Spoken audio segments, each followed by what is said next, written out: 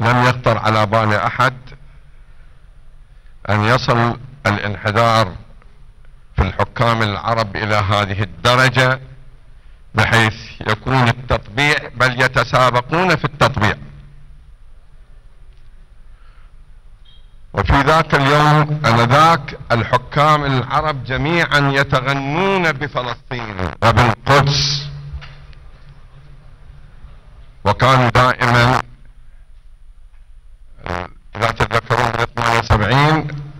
عندما أعلن السادات مقاطعة عربية يعني كانت أكو غيره يبدو أن هذه الغيرة انتهت.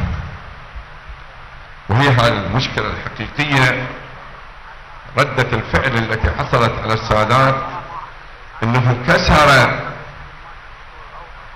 هذه القدسية. وكسر المحرمات عندما ذهب إلى زيارة إسرائيل في عام 8